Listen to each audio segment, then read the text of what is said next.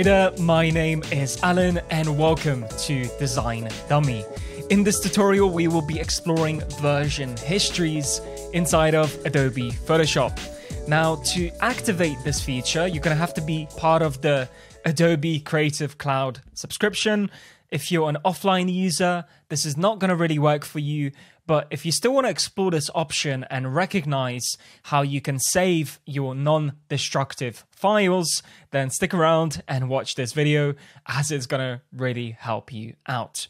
So, the first thing we need to do is we need to convert our offline workspace into an online workspace. And the way we can do that is by going to File, Save a Copy, and here we can name our file. So for the sake of this tutorial, I'm going to name my file tutorial. Press the blue Save button, and that pretty much does it.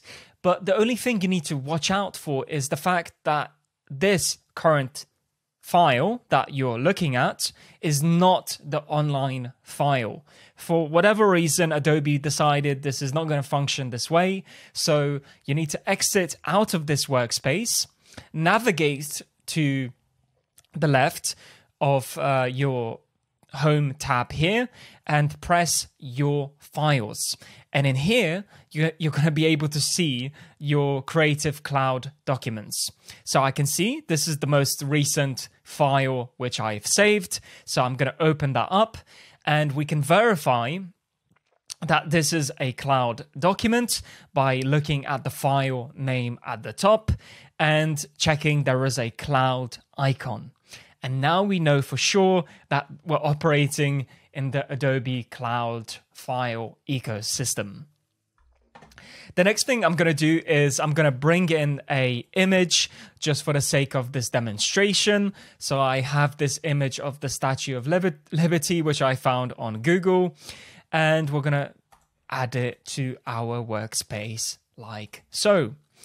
Now, the first thing we need to understand about version histories inside of Photoshop and Creative Cloud is it's not an ongoing process. It's not like uh, this is happening in the process.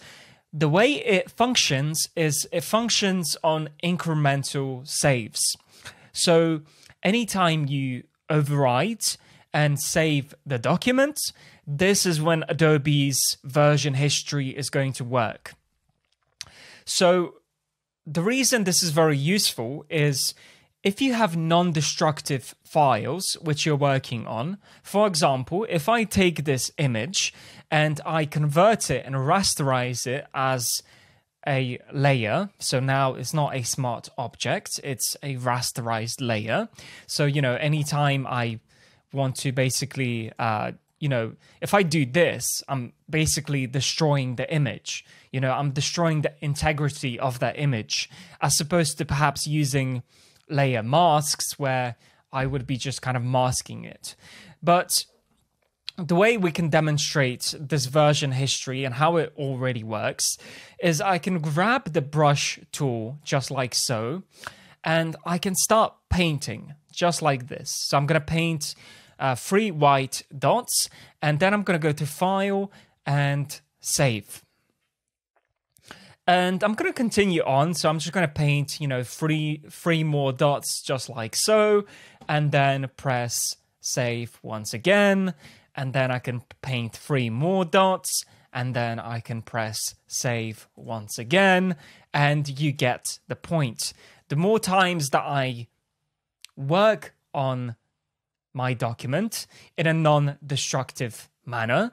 I'm going to save it incrementally to help Photoshop version history remember that these are the versions and increments which I'm going through.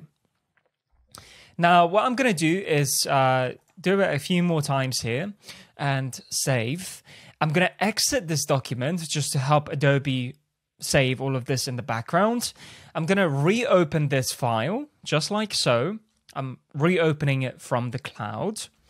Then I'm going to go to Window, Version History. And inside of this little tab here, we're going to have access to that version history. So we can see the time which these files were saved, and we get a little preview window just here as well. So if we if we click through, we can see, you know, those changes which I made over time. And we can go back in time and we can recover the file which we initially worked on. Previously, this wasn't possible. The, the way that designers have usually done this uh, method is by just saving version 1, version 2, version 3.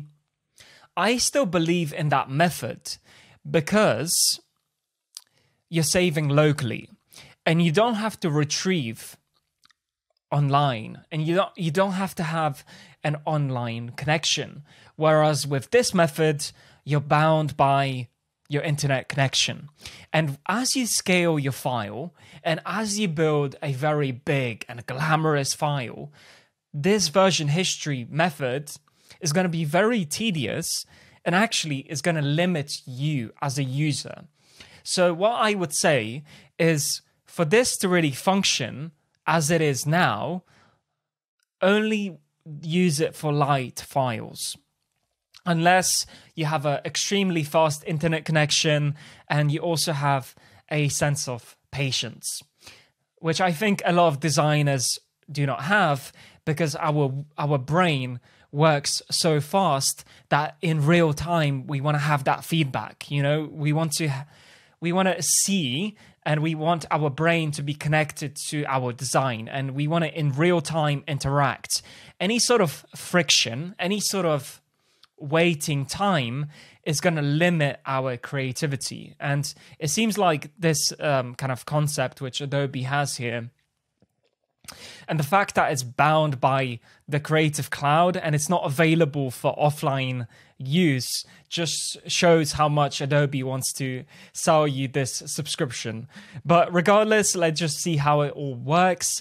So let's say we want to go back to this uh, version. What we can do is uh, revert to this version, or we can open in a new tab. So let's just open in a new tab, and we can see we've gone back to this version. So I think there are still quite a, a few benefits to, to using this, um, but I think that pretty much summarizes how this uh, function works.